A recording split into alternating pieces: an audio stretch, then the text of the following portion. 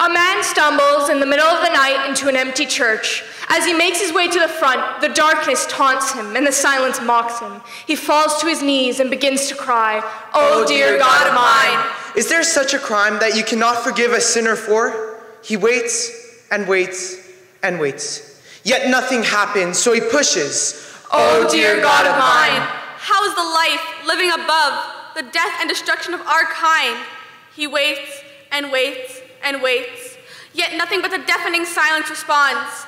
The man gets up and yells, Oh, oh dear God of mine. Haven't I tried to give you everything, everything that's mine? He waits and waits and waits. Yet the only noise comes from the old floor that moans under the weight of his words, and suddenly he snaps. As the corners of his vision turn red, he pulls out a gun and says, Oh, dear God of mine, will you stand by and watch me die, or face me for what you've taken? He did not wait this time, for the wind howled and the trees danced, and for a moment the whole church shook. Yet God did not appear. And so, with a tear, the man put the gun to his head and slowly said, Oh, oh dear God of mine. How dare you take what is mine? I'll meet you in hell for what you did.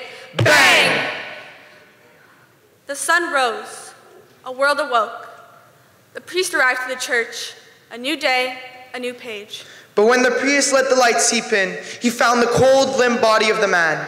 The cops say he was a drunk who got lost and thought to give death a shot. But the walls and halls know that the man just needed some love. Love that the world did not give him, love that the Lord did not believe in.